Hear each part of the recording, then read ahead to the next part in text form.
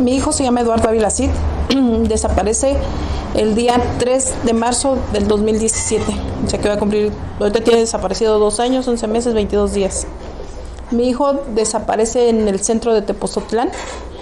Eh, que mi hijo este, en Tepozotlán este, desaparece porque luego iba a recoger su camioneta que tenía este chico, Carlos Eduardo Reyes González. Entonces le dice que pues la camioneta le falta una refacción y que hay que ir hasta Mago por ella. De ahí mi hijo pues se va con él porque pasa por él a las como que serían ocho, ocho y media, nueve de la noche, no sé. Este, por él y de ahí pues se lo lleva. De ahí pues ya mi hijo más noche pues yo creo sospecha o no sé de que pues yo creo pasaron mago y pues no, no ve nada. Mi hijo empieza a mandar mensajes y a decirle a un amigo que pues empieza a sospechar de Carlos, que lo llevan en un SEAT amarillo, el SEAT es del suegro de Carlos Eduardo y que va también con su cuñado y que este y pues que lo llevan por monte. Eso ya era 12, 15 de la noche, que fue el último mensaje que mandó mi hijo, que se contacte por favor con su hermana porque pues se sospecha de algo malo y que pues ya le empezó a dar miedo porque lo llevan por puro monte. Y de ahí ya no sé nada de mí. Mi carpeta empezó en Cuautitlán, México, porque pues como mi hijo desaparece en Tepozotlán, supuestamente ahí me tocaba. Entonces ahí pues que serían tres meses y pues no vi nada. La MP, la licenciada Rosa María, no me acuerdo su apellido ahorita, es la que llevaba mi investigación, pues no, no, yo no vi avances de nada hasta que entré a la asociación, ya con la señora Elenita. Puede que mi caso me lo pasan a Toluca, me cambian de MP, me cambian de asesor jurídico, pero pues hasta ahorita no veo claro porque para mí pues yo digo el responsable y para mí es el culpable es Carlos Eduardo Reyes González, puesto que había una camioneta que está de por medio que fue, pues digo, la consecuencia de la desaparición de mi hijo, es una camioneta urban, 15 pasajeros. Entonces, pues yo digo que mientras no agarren a esta persona y mientras esta persona no declare, pues ¿Ha tenido usted algún acercamiento con esta persona, Carlos? Eduardo Reyes González. No, yo al principio cuando mi hijo desapareció, que, que le digo, no, fuimos el día, el, mi hijo, el día viernes fue cuando se contactaron con mi hija, el día sábado. Van dos de mis hijas y mi esposo y si lo vieron dice que se notaba nervioso. Y pues les dijo que él no sabía nada, que él había dejado a mi hijo en Tepozotlán, pero pues no dice la hora ni nada.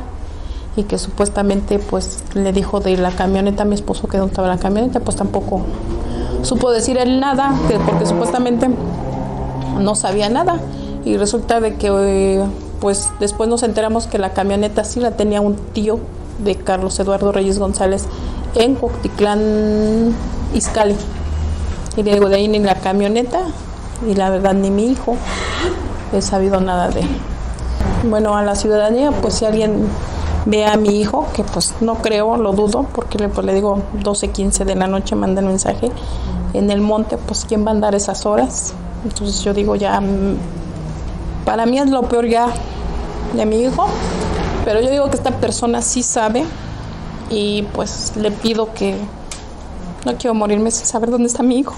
Él es padre, pues que se ponga en mi lugar, ¿no?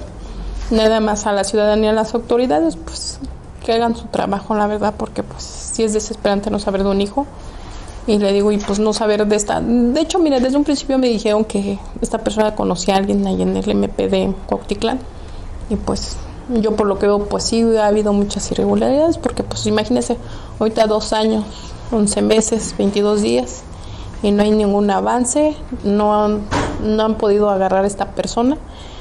Pues, entonces, pues yo digo que sí hay algo algo ahí porque pues, ya el tiempo que va, yo pues luego no sé nada de mi hijo. Le digo, la camioneta pues la tenía esta persona en su poder, Carlos Eduardo.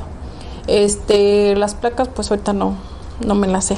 Este, y pues le digo que simplemente mi hijo dice que lo llevan en un SEAT, SEAT propiedad del suegro de Carlos Eduardo Reyes González. Y Carlos Eduardo Reyes no va solo, va con un cuñado de él, supuestamente Entonces le digo, y mi hijo va solo. Eh, ¿Cuál era la relación entre su hijo y Carlos Eduardo? Eran, bueno, mi hijo trabajó mucho tiempo allá en Tepozotlán en una empresa y eran ex compañeros. De hecho, mi hijo era el chofer y él era el ayudante. Entonces, sí trabajaron un buen tiempo ahí. Ahí fue donde se conocieron en esta empresa que, que le digo que trabajó mi hijo en Tepozotlán, porque mi hijo empezó a trabajar en esa empresa desde aquí en Toluca. Esa empresa estaba en el aeropuerto, del aeropuerto la pasaron para Tepozotlán y mi hijo siguió trabajando allá. Entonces le digo, eran, eran sí, pues compañeros de trabajo. Eh, para aclarar, eh, ¿las autoridades han requerido el testimonio o la declaración de esta persona que usted señala directamente? No, no, porque le digo, no, no lo han podido localizar, según. Pues nada más que si esta persona, por favor, le pido, pues que por